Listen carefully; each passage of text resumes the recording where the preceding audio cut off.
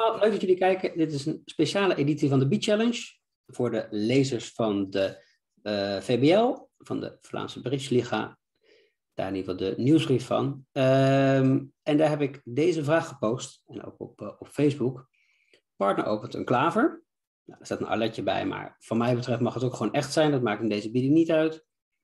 Je biedt natuurlijk een schoppen. Schoppen is je langste kleur. Je hebt zes of meer punten. En je partner biedt nu één zonder troef. Wat moet je doen? Um, nou, eerst gewoon even de overwegingen. Uh, wat ik in ieder geval zou bedenken bij deze hand is, ik tel mijn punten. Ik tel 11 punten. Nou, stel je voor, partner heeft een minimale hand. Hij heeft 12 tot 14 punten. Dan wil ik niet in de mand zitten. Heeft hij een maximum? Heeft hij de 14 plus mijn 11.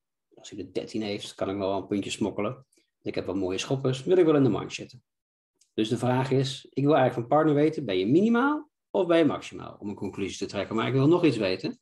Ik wil ook weten, heb je wel of geen drie kaart schoppen? Als partner een drie kaart schoppen heeft, wil je graag schoppen als troef. En heeft partner maar twee schoppers, wil je graag zonder troef spelen. En daar is een vrij makkelijke methode voor om daarachter te komen. En die methode ga ik jullie laten zien. Dat is checkback Steeman. Dat is een bot van twee klaver. Eerst nog even terug. Stel je voor, je speelt geen checkback Steeman. Ik heb heel veel antwoorden teruggekregen. Waarvoor dank, hartstikke leuk.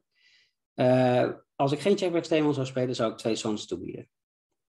Dan zou ik denken, nou ja, als partner een maximum heeft, dan biedt hij drie sons zonder drie kaart schoppen. En als hij drie kaart schoppen heeft, kan hij gratis even drie schoppen proberen.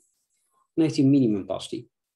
Maar er is nog wel een slimmere methode, waardoor je, als je partner bijvoorbeeld minimaal is met een drie kaart schoppen, ineens een twee schoppen kunt eindigen. Kijk maar eens mee. Partner opent hier dus één laag en ik bied één hoog.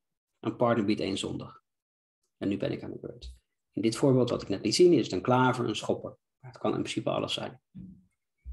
Twee klaver vraagt eigenlijk de hand op. Ik geef aan dat ik een inviterende hand heb, 11 of meer punten. Ik heb die vijf kaart hoog. En ik vraag een partner twee dingen. Wel of geen drie kaart steun? En heb je een minimum of een maximum? En er zijn op zich hele makkelijk te onthouden antwoorden voor, vind ik. Want ik vind op het moment dat je uh, nieuwe systemen leert, nieuwe dingen, moeten wel logisch zijn. En als ze logisch zijn, dan beklijven ze beter. Nou, stel je voor, partner heeft een minimum. Dus 12 of 13 punten, misschien wel 11. Hij heeft geen drie kaart schoppen. Biedt hij twee ruiten. Dan zegt hij, partner, ik ben minimaal. Is hij minimaal met een drie kaart schoppen? Bied je twee schoppen.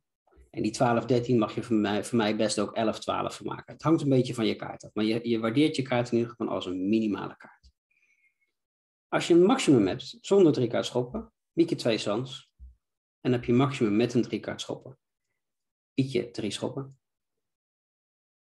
Dus dat betekent, heb je geen steun in de hoge kleur, bied je twee ruiten met een minimum, twee sans met een maximum. Heb je wel steun in de hoge kleur, bied je twee schoppen met een minimum en drie schoppen met een maximum. Dus hier heb je eigenlijk in vier stapjes, kun je je partner precies uitleggen wat je hebt.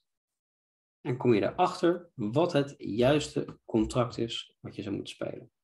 Helemaal goed. Hey, bedankt voor het kijken.